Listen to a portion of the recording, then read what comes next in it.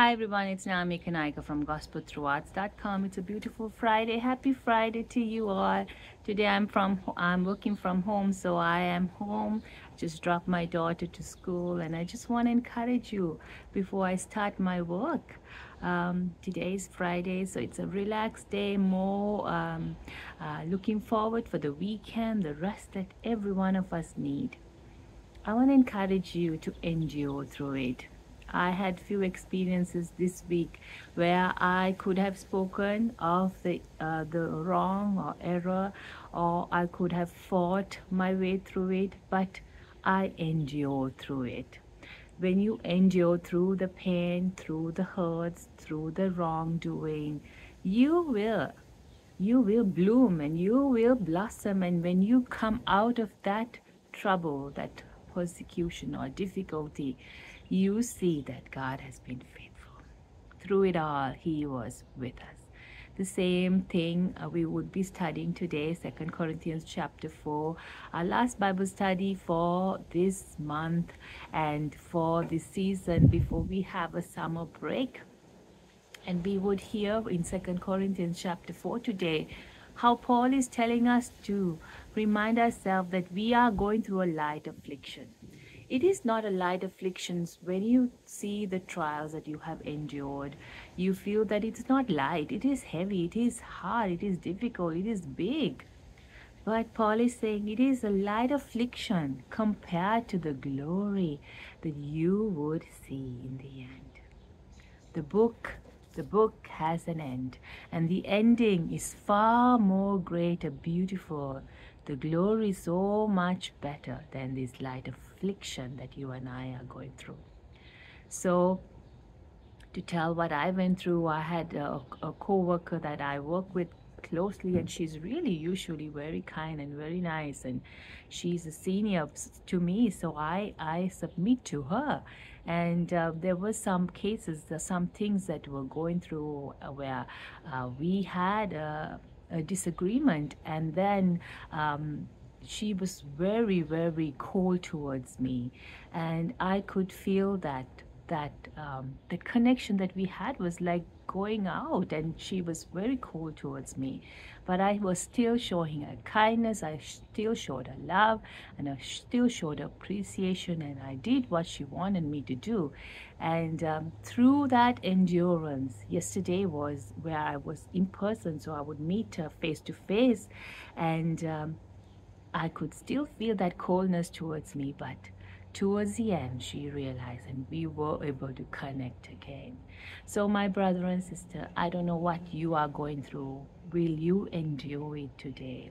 Will you remind yourself this is a light affliction compared to the glory that god is having for you and i? Dealing with people dealing with situations in our life is not easy but through it will you endure it yesterday after all that from work i came home and i had some people coming to um, for an interview to our home. And they said it would be maybe one hour but it went from 6.30 till 8 o'clock and i was like so tired by the end of it.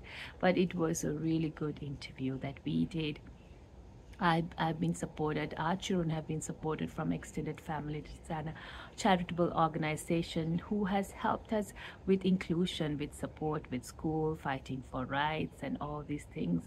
And um, they have been audited. The organization is being audited. So they asked me, are you able to give us, uh, give the people who are auditing them a good feedback of this organization? So uh, yesterday they visited our home. It was a casual conversation where I would be talking about our situations and how extended family or this organization was beneficial for us and how it helped us to navigate the school system, how it helped us with knowledge and information. And, um, and through when I was going through and telling my story, they couldn't believe what we went through. And they were amazed how we were able to endure through everything through meetings, through difficult, through difficult no, doctors saying no, teachers saying no, principals saying no, school system saying no. But we endured through it. And it was a great credit goes to God, our Father, our Lord Jesus, who were with us through that time to help us to endure it. so I had my t-shirt on where I was not able to speak about my religion or my my beliefs but I had my t-shirt on that I wore a black t-shirt with saying the battle belongs to the Lord and they know that uh, everywhere the walls everywhere display that we are believers we are Christians and we endure through it because we have Christ with us so my brother and sister Paul will be talking to us from Second Corinthians chapter 4, where he would tell that I was put in jail, I was beaten up, I was persecuted, but I went through this suffering because I knew this is a light affliction compared to the glory that God has for us. You and I will be comforted with the scripture to know that the enemy is fighting against us more because the enemy knows we are having a victory in the end. Enemy knows that if we defeat this person, this is the only time we can defeat this person because she has the end saying she has won the victory through Jesus Christ. So, my brother and sister, it is done by the Lord Jesus. We are going through this affliction for a short time. Will you endure it? just like a caterpillar who is in this cocoon tied up inside but he will endure break forth and into a beautiful butterfly you will receive this gift from christ when you endure it so no matter what comes against you today endure through it zip that mouth where you want to speak back calm your heart when you feel stressful Open your mind to see the word, what God has spoken for you, saying that He will fight your battles. You only need to stand still. Wear the full armor of Christ. Stand still and see the deliverance that our Lord Jesus will have for you. You will endure through it because the battle has been already won. He is faithful. Our God is faithful. He is loving. He has great plans for you and I. Let us endure through it endure through it. We are coming to this weekend where we can relax and rest and take a break and do the things we love to do. Yesterday, I took some of my books to my workplace to give some co-workers where I felt led to give. And uh, I gave one girl, and uh, when I was talking about work and different things, she said, if you can write three books, you can do this as well. so no matter how what you're going through, my brother and sister, encourage yourself. You can do it because God is in it. God will be with you. He will help you to endure through it because you are in God's hand. Let's pray. Father God, we come to you. Many times we feel like giving up.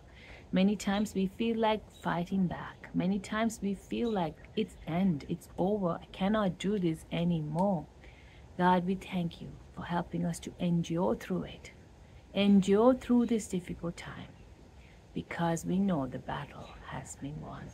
So help us today, Lord. Help my brother and sister to endure through it.